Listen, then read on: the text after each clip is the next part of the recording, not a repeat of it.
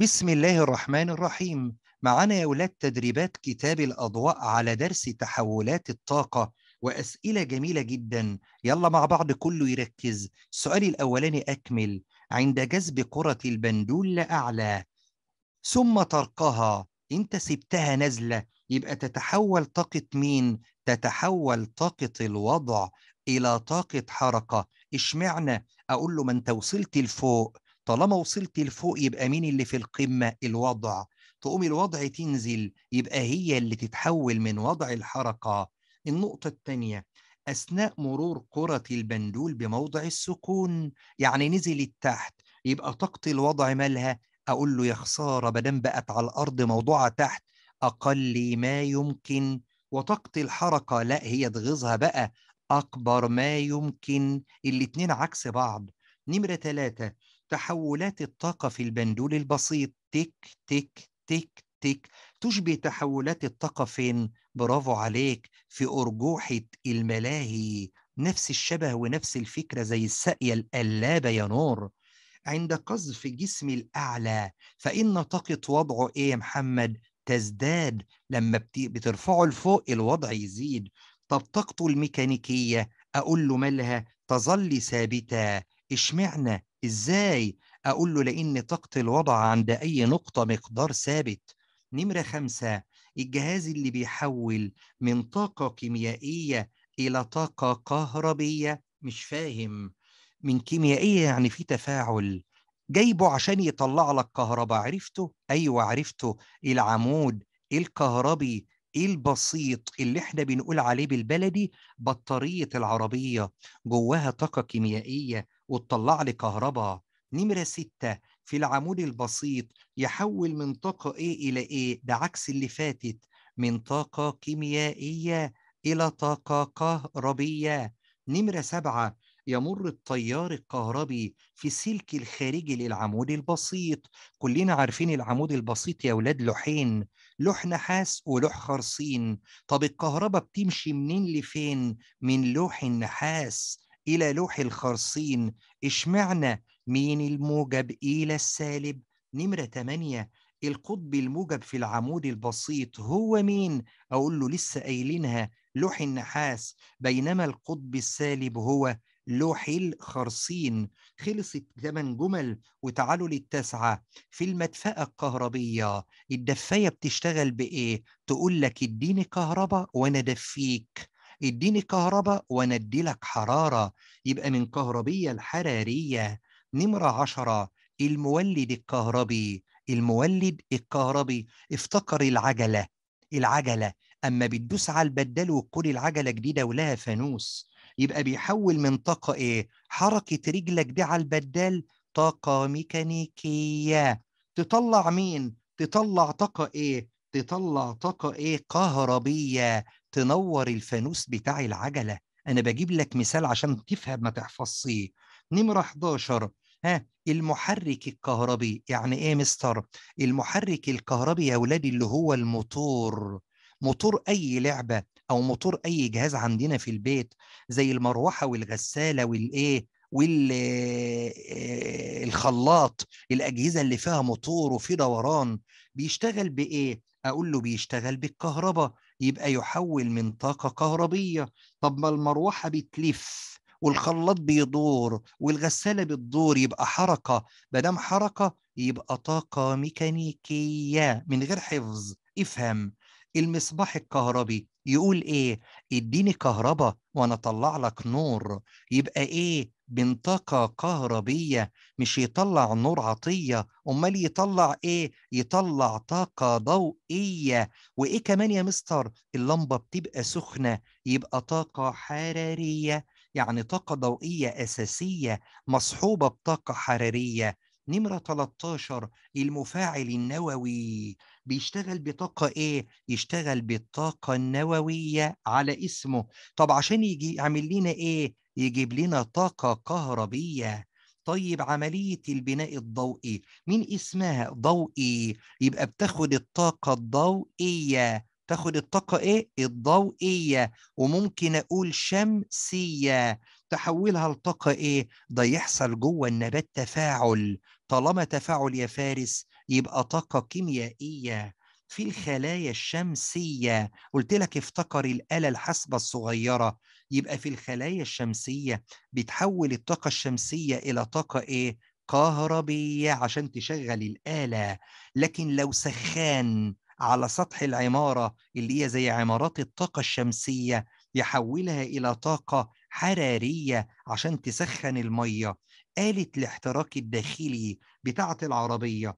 العربية هنا في نمرة 16 لما بتاخد البنزين بتحرقه جواها يبقى تفاعل يبقى من طاقة كيميائية. تطلع إيه؟ تطلع سخونة من الشكمان والعوادم طاقة حرارية. 17 مين الآثار السلبية للتكنولوجيا؟ التكنولوجيا جميلة جدا. طب إيه أثارها السلبية اللي الإنسان أساء استعمالها؟ الحروب. وإيه كمان؟ والتدمير. دي الحاجات السلبية الوحشة. طب شبكات المحمول بتعمل تلوث أيوة اسمه إيه التلوث ده؟ كهرو مغناطيسي لأنه مرتبط بالكهرباء والمغناطة لكن لو كراكة بتحفر جنبك بولدوزر ماشي جنبك آلات الحفر ده تلوث إيه؟ تلوث ضوضائي لأنه بيضر الأذن ونيجي لمين؟ ونيجي لسؤال تاني في اختر الإجابة الصحيحة على تدريبات كتاب الأضواء وبيقول لي تحولات الطاقة في البندول البسيط تشبه تحولات الطاقة فين؟ أقول له لسه قايلينها من شوية في أرجوحة الملاهي آدي الأولى ونيجي للتانية الطاقة الميكانيكية للبندول عندما تصل لأعلى نقطة يبقى قد مين؟ أقول له ندور مين اللي بيبقى أعلى حاجة في أعلى نقطة؟ برافو عليك طاقة الوضع يبقى الإجابة طاقة الوضع. في الحالة دي الوضع بتساوي الميكانيكية. نمرة ثلاثة الشغل المبذول لما تجذب كرة بندول لأعلى بيتخزن. طالما تخزن يبقى تخزن في صورة إيه يا حمادة؟ في صورة طاقة وضع. ما هي دي الطاقة المخزنة؟ نمرة أربعة مين اللي بيحول من كيمياء الكهربي؟ يعني من تفاعلات؟ يقول لي اتفضل كهرباء يا باشا. أقول له عرفته العمود البسيط اللي هو بالبلدي بطارية السيارة نمرة خمسة حذر فزر مجموع طاقة الحركة وطاقة الوضع. بيساوي إيه؟ أقول له بيساوي مقدار ثابت اللي هي الطاقة مين؟ الميكانيكية. مقدار ثابت عند أي نقطة. نيجي لنمرة ستة. المصباح الكهربي من التطبيقات التكنولوجية؟ طب بيحول الطاقة الكهربية إلى طاقة حرارية ولا ضوئية ولا صوتية ولا ألف وب معا؟ ولا ألف وب معا حرارية وضوئية فعلا؟ المصباح بيدينا ضوء مصحوب بحرارة يبقى الإجابة ألف وب معا.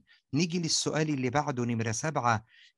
الطاقة الكهربية بتطلع صوت عند الراديو أيوة والجرس أيوة والتلفزيون أيوة يبقى الإجابة إيه شطار؟ جميع ما سبق. طب ليه جميع ما سبق؟ لأن كل الأجهزة اللي قالها بتطلع صوت يا شهد في الخلايا الشمسية افتكر الآلة الحاسبة افتكرني بقى بيتحول مباشرة ضوء الشمس إلى طاقة إيه؟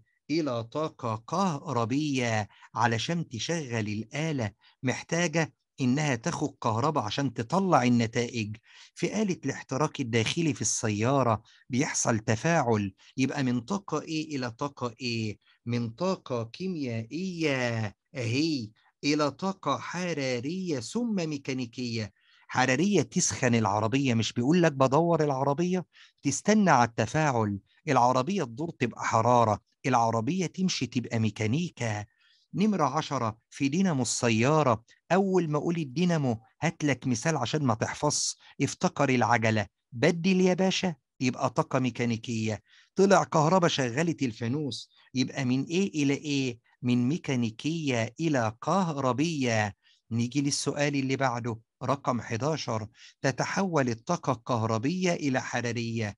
ترجم لنفسك اديني كهرباء وأنا اطلع لك حرارة. الكلام ده بيحصل عند مين؟ برافو عليك بيحصل عند المدفأة الكهربية. سؤال سهل جدا. المدفأة تاخد الكهرباء تطلع حرارة زي المكوى نمرة 12 الطاقة لا تفنى ولا تستحدث من العدم. ده عرفته من دون؟ ده قانون بقاء الطاقة المهم. يبقى الإجابة هنا قانون بقاء الطاقة اللي بعده 13 دور التطبيقات التكنولوجية الأساسي بيتمثل فين؟ تالت مرة تتكرر استغلال مصادر الطاقة. سؤال من الأسئلة المهمة جدا والله استغلال مصادر الطاقة.